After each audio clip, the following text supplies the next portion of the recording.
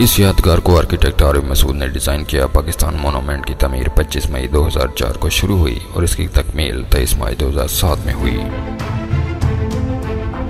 इस यादगार का कुल रकबा छः नौ एकड़ है। इस यादगार का डिज़ाइन बरह रास्त मुगलिया फ़न तमीर से जुड़ा हुआ है। इस यादगार को अगर हुआ देखा जाए तो ऐसे मालूम होगा कि जैसे कोई खिलता हुआ फूल हो। जैसे कि सिम प्रोजेक्ट के मेमार का कहना है कि हमें तारीख से सीखना चाहिए, लेकिन इसमें बाकी भी रहना चाहिए। इसीलिए उन्होंने मकरसों की शक्ल को नई सूरत देने के लिए जदीद टेक्नोलॉजी का इस्तेमाल किया। मोनोमेंट में चार बड़ी पतियों से मुराद पाकिस्तान के चार सूबे और तीन छोटी पतियों से मुराद पाकिस्तान से जुड़ी हुई तीन वफाकी इकाइयाँ आज़ाद कश्मीर, गिलगिलगंदिस्तान और फाटा हैं। इन पत्तियों को इस अंदाज से बनाया गया कि हर दो थ्री पट्टी, बड़ी पट्टी के दरमियान एक छोटी पत्ती है।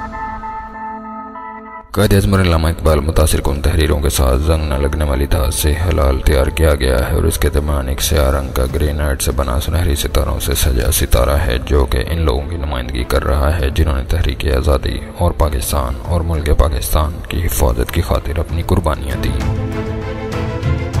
मजमू तौर पर देखें तो ऐसा महसूस होगा कि ये सब सूबे और रियासत यकजा हैं और एक साथ खड़े होकर हिलाल और सितारे और खुदाद पाकिस्तान की हिफाजत कर रहे हैं। बड़ी पत्तियों को ग्रेनाइट से बनाया गया, जो कि ब्राज़ील से बरामद किया गया और मार्बल स्पेन से दरामद किया गया। बड़ी पत्तियों की अंदरूनी दीवारों पर इंतहाई उमदा, खूबसूरत और मुतासर कन आर्ट वर्क है।